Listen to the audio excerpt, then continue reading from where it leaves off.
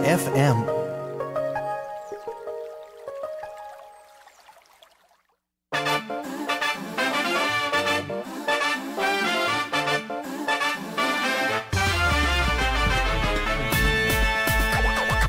ワクワクしてる？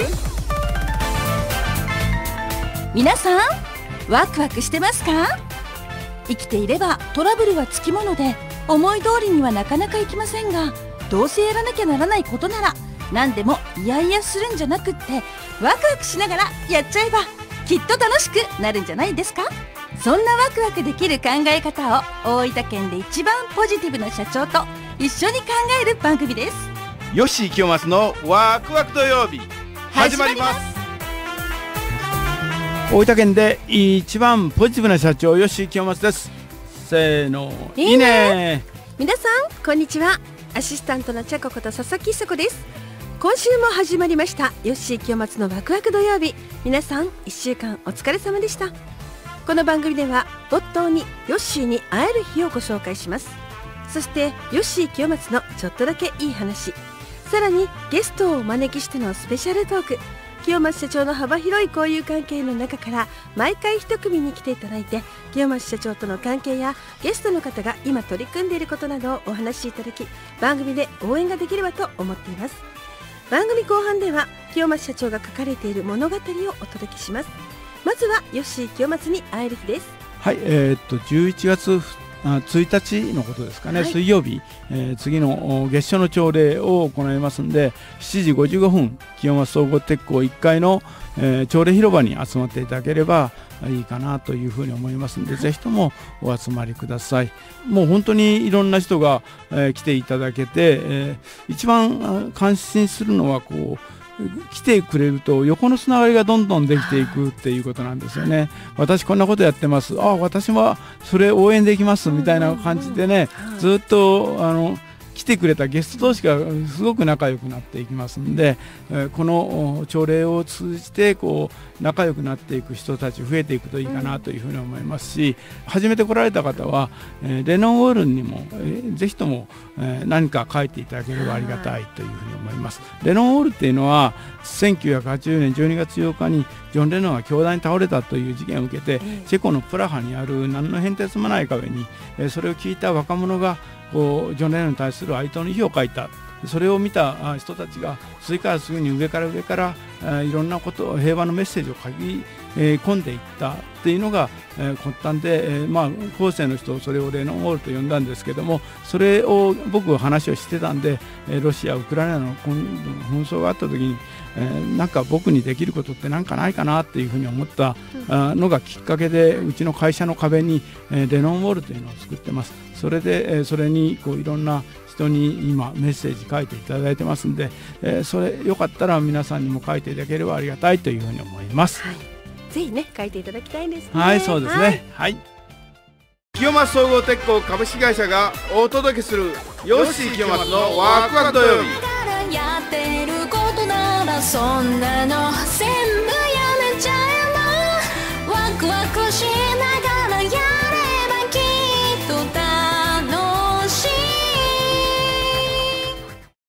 日のゲストをご紹介します。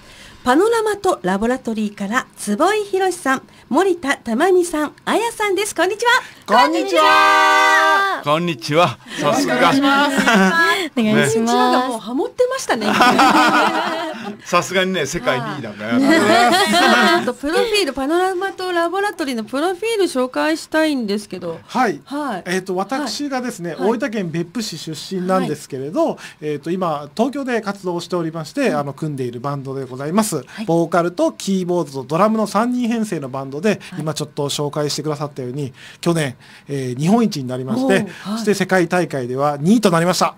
すごくないですか？はい。なんていうあのそのはい大会の名前です大か。会はい。エマージェンザというあの、はい。世界最大規模のインディーズバンドの、うんえ世界一を決める大会ですね。はい、そうなんですそうだよね。ね世界ヨッシーともご縁がすごくそうですね、うちの、えー CM 第2回目の CM ですかね、はい。えーとええじゃないかええじゃないかせーのいいねっていうあ あの楽曲を、えーね、作って、はい。えー今テレビであれから小学生がみんなヨッシー見たらいいねって言い出もらってうんそう。そうそう いや僕たちも CM ソング作ったらあの、はい。日本一になりましたので、おー。はい、もう幸運ですね。すそうですよね。ねえ。えそして何回かうこちらの番組にも出演していただいてるおはい。二人にはい、新しい方が今日いらっしゃるじゃないですか。はいはい。はい。ぜひあの紹介させてくださいませ。よえー、新しいボーカルのあやです。よろしくお願いします。ろしくお願いします。本当若干22歳。はい、ね透き通る美人。どうですかこのおじさんに声かけられて？いやー最初はめちゃめちゃ怖かったです。だってどこで声かけられたの？あのインスタグラムのはい DM がうん坪井さんから送られてきて、は一緒にバンドやらないかっつって。そうですね。知らないおじさんから DM がいきなり来えると。でもそれってあやさんがじゃあそのインスタの方で活動を何かされてったのを出せてたってことですね。もともと一人で弾き語り、ギターの弾き語りでシンガーソングライターをやってて、はいインスタグラムであの自分の弾き語りの動画とかを上げてて、それを見た坪井さんが声をかけてくれました。はい。えーそうなんですじゃあちょっと歌声聞いてみましょうか。そうですね。はいまずはね。ちょっとはい曲振りお願いします。はい。はい、パノラマとラボラトリーで君と夢。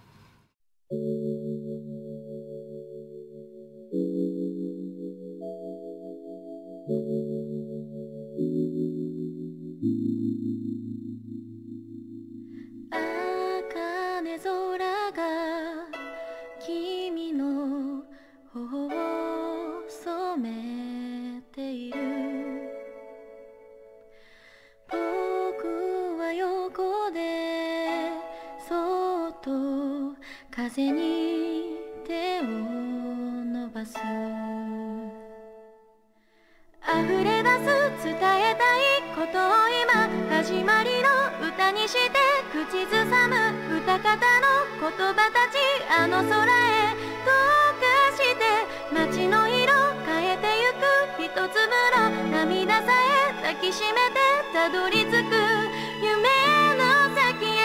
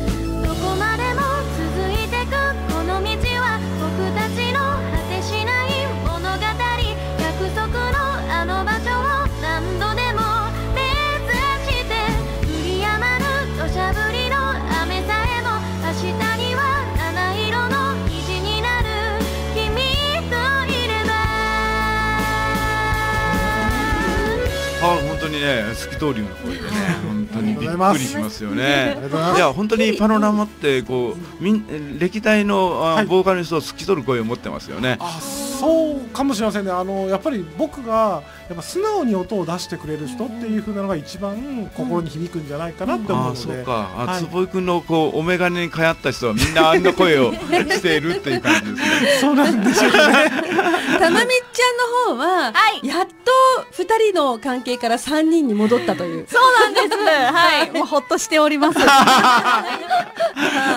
やっぱこうやってインスタとかでやっぱりこうチェックとかもたまみさんとかもしてたんですか？私は全然してないです。ね。そうなんです。よあの僕はもう全部探したんですよ、今回多分1500人以上は、えっ、と歌声聞いて、はいあの見つけました。ねえそれ千五百人以上のインスタでからですか？あツイッターとかインスタもそうですし、あと応募してくれた方もいらっしゃるので、そのも分もありますしっていう、ーい。ろんな形で、はい、ねその中で、まあ、彼女を選んだ理由っていうのは？何、うん。あまず一つはやっぱりその歌声自体がもうすごくこうあいきなりストレートにこう届くなっていうふうな良さがありましたしあとはやっぱり重要なのはその人柄がどうかっていうようなことですよルねックスもあるしね。そうでございます。はい。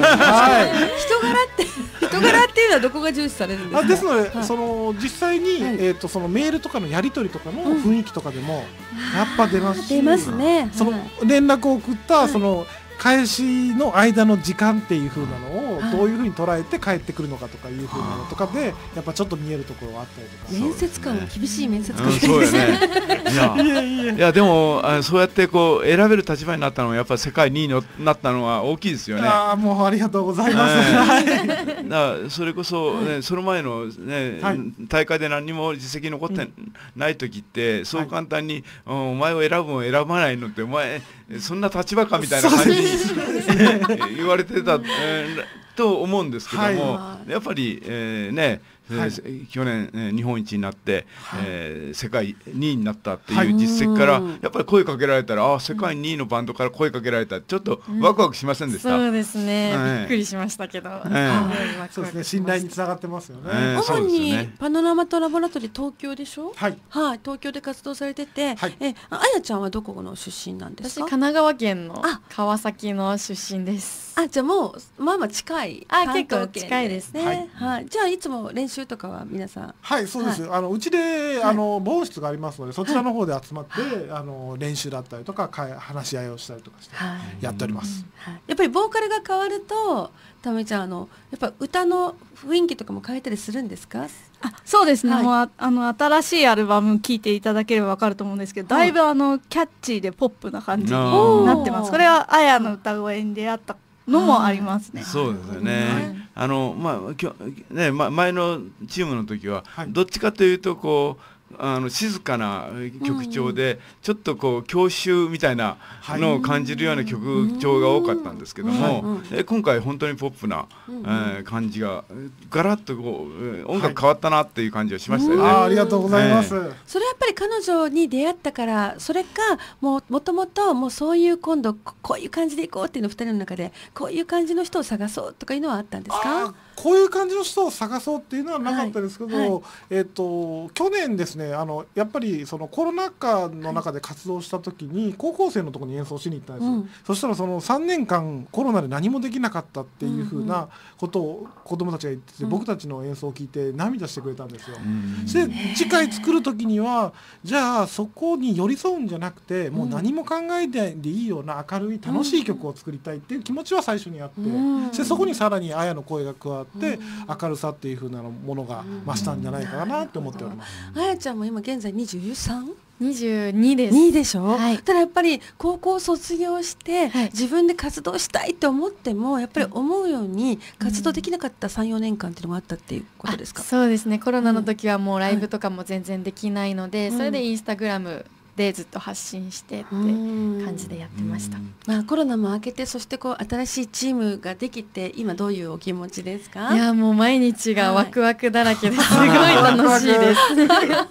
こんなふうに大分までねもう卒業されてるんですか？あ。はい今年卒業しました。あの実は優秀なんですよ。明治大学。はい。えー。私 も素晴らしい。私もです。えー。じゃ偶然ってことです、もう話たまちゃんたまちゃんは建築家を出られてるんですよあね。そうです。ええ。で建築家から音楽、音楽。はいはでうんその後輩として、はい。えーねえーあやちゃんが入ってきたけどどうどうやっぱり同じ大学の後輩なんていうの？は。あ、まあ、全然世代的にはかぶってないんですけれどい、や やってそうな雰囲気ですけどね。嬉しいですねやっぱ。はい、うん。同じ大学っていうのは。そうなんですね。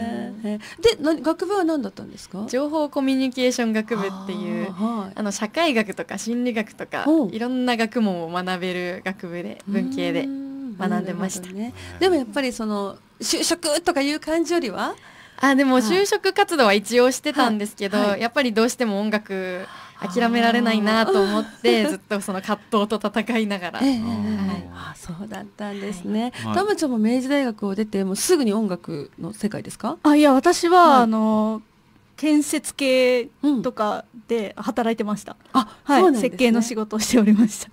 そして音楽もやられてたっていう。そうあの並行してもアマチュアとして活動してたんですけれど、まああの音楽やりたいなって思って、うん。もうはいそっちの方はやめました。あそう。なんです。ね坪井さんはもう最初から生まれた時からですかそうですね。はいもうなんかあものうあの持って。か感性のみで生きておりました。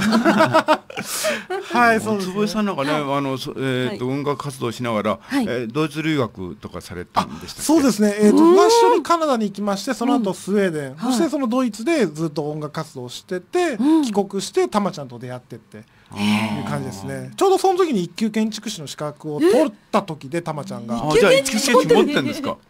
す。ごいじゃない。すごい。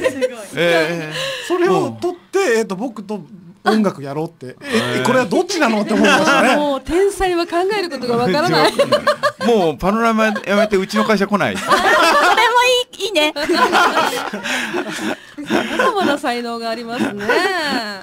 まあでも本当あのヨーロッパでね、はい。活動していて大分です出身ですからねズボそうさん。ですよね、えーはい大分別府になります。はい。ね今でも大分には何か何回か帰ってこられたりとかも。そうですね、はい。あの年に1回は必ず、あの帰ってきますしその時にあの、えー、と清松総合鉄工のイベントで、あの演奏させてもらったりとかもありますしあと他もちょろちょろあのあったりとかしますねいろいろ。さそうだね。やっぱりこう曲作りとかははい。あのどちらがしてるんですか？あ最近はですね、結構一緒に作ることが多くて、うんメロディーを僕が作ることも多くなりましたね、うんそしてたまちゃんと一緒に相談しながらはい。作っていくっていう感じでもうね、たまちゃん天才でねあの適当に「どう?」とか「れ」とか「み」とかみんな勝手に言って、はい。はい。そのおそのそれを全部音楽にしてくれるんですよね。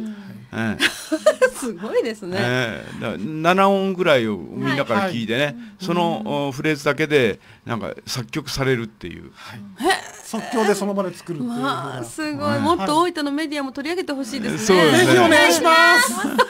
大分からかに。いやでも大分でやっぱりこうあの大分に来て、はい。大分のこう雰囲気とかこうこうこの暮らしぶりを見て、はい。またなんか歌が生まれたりとかは？あもちろんです。もちろんでございます。僕はやっぱはいりどうしてもそのはい。海外に行ったりとかもあった、はい。あるので、えっ、と大分が土台になってる。だから外に、えっ、と戦いに行ける、うん。だから今東京でやってるっていうのは、うん。むしろ戦ってる状態っていう感じですね、うん。だからそこは元になってるので、ん。やっぱりあの大分とかはもういろいろ入ってきてますね気持ちいやーいいですね。もう敗れた時は大分に帰って癒されて温泉で癒されて。そうでございますね。でまた英気安になってまた東京行って戦うみたいな。はい、そういう気持ちです。はい、ね、そしてあのまああのライブ活動やいろいろ様々されていると思うんですけど、はい。新しく CD が出たということで、はい、そうでございます。はい。あの5月31日に発売しました、えー、透過性ニュートラルというミニアルバムになっております。5曲入りでございます。はい、はいはい。透過性って透き通って、そうです。うんあの、はい。と透過性の方はその透き通るようなっていうのが一つその音楽性を表してまして、はい。ニュートラルっていう風なのは、そのあやが4月にあの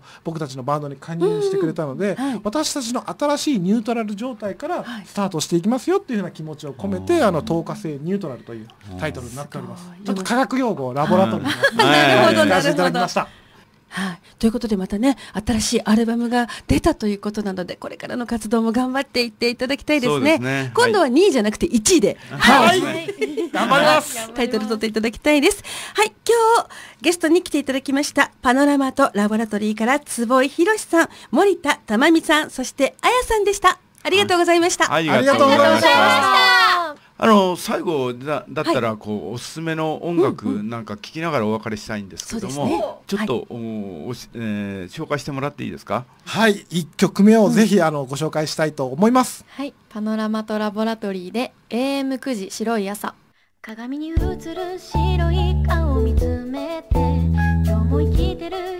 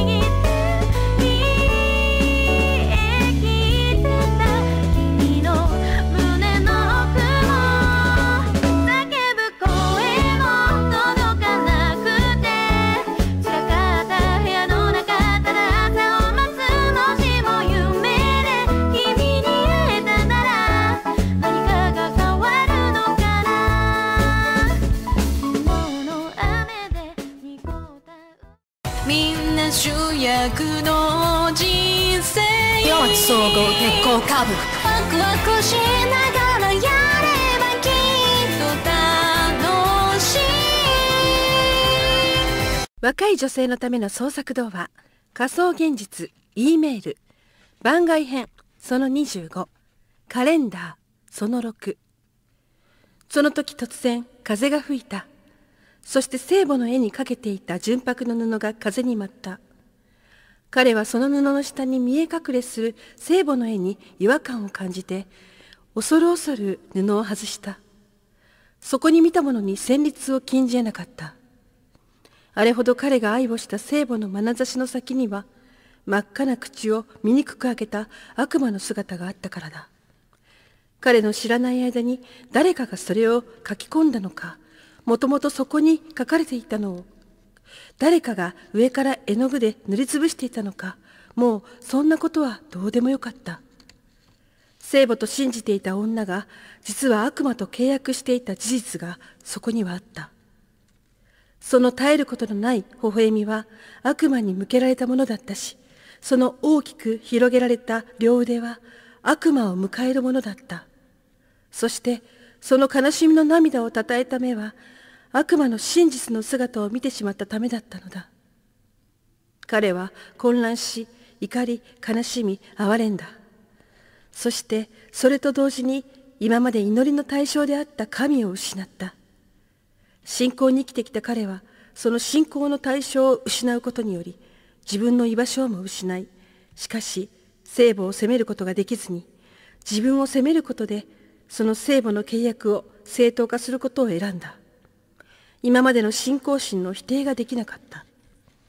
なぜなら今では彼の唯一の心の支えになっていたから。はいありがとう。あのまああ実はっていうね、あの、はい。告白を聞いた時の感覚を、えーあそこですね。あはい。あの部分ですよね、うんうんうん。えー本編、うんご存知の方あああの部分だって、多分、うん分かっていただけるんじゃないかなというふうに思います。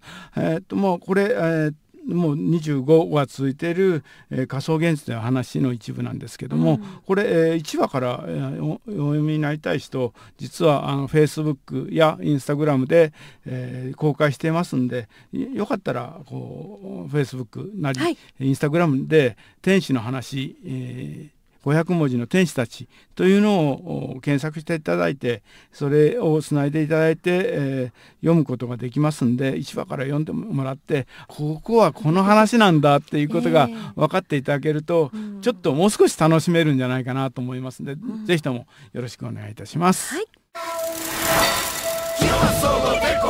会社は明るく社長は男機械は最新社屋は斬新。作る喜び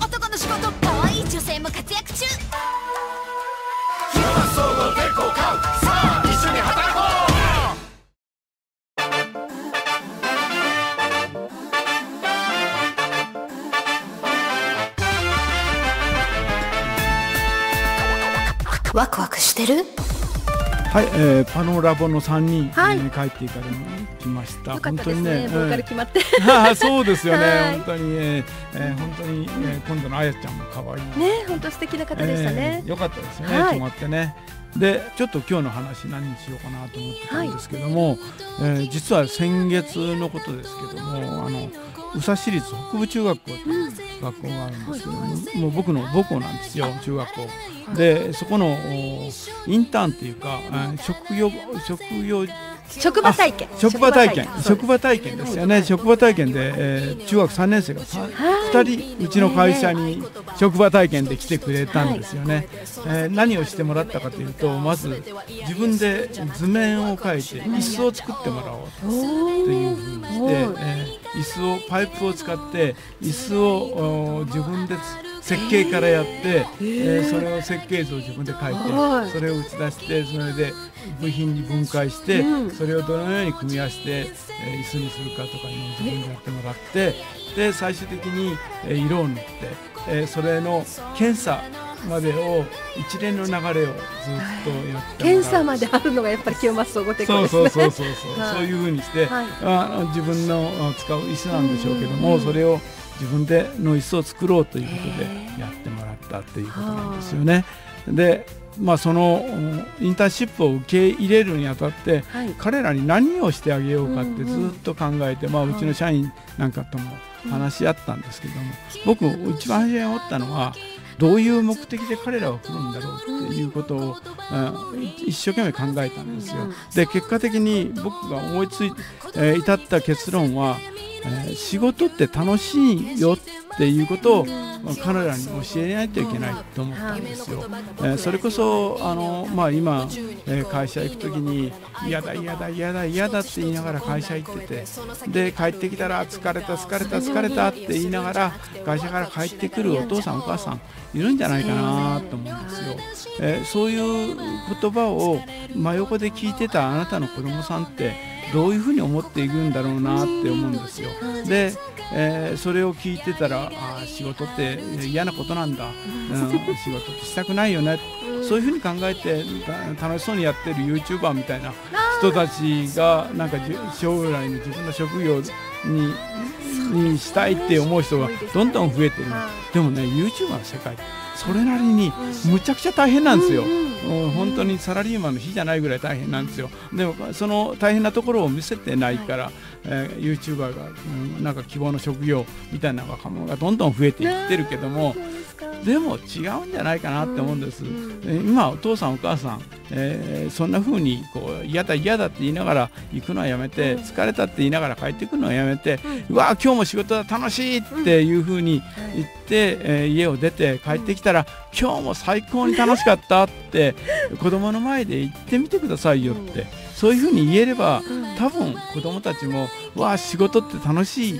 あの社会に出たら楽しいことだっていう風にみんなが思ってくれるとこう未来って明るくなっていくんじゃないかな、YouTuber が素敵だみたいなそんな幻想にとらわれない若者が増えていくんじゃないかなっていうふうに思うんですよね。えーぜひともこうそういうふうにしてもらいたい。そのためにはどうすればいいかっていうと、うちの会社に来てごらんなさい。うちの会社ってみんな楽しん楽しんでるんだ、楽しんだっていうことを見せてあげたい。だから今度のインターンを受けた、あインターンシップを受けた時も。おいかにこの子たちにが帰る時に仕事って楽しいんだっていうことをなんか思いととして植え付けたいなって、そういうふうに僕らもう、うん会社のみんなで話して、えー今回インターンシップ、うんして、えーだからその椅子を作自分で作ってみるというものづくりの楽しさみたいなのを、えーみんなに経験してもらうで最終最後はこう全部こうみんみんなにこう検査書類やら何やらかんやら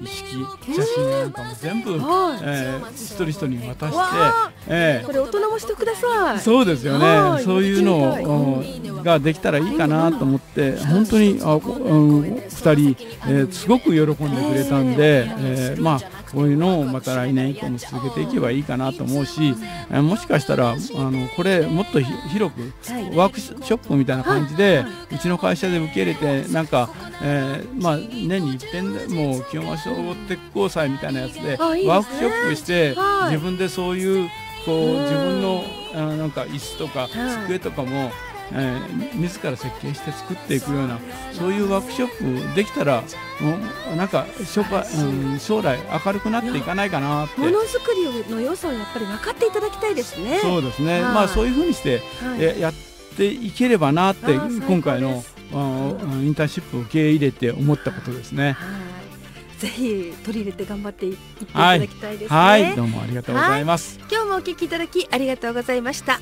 お相手はよし、清松、そして、じゃここと佐々木久子でした。せーの、いいね。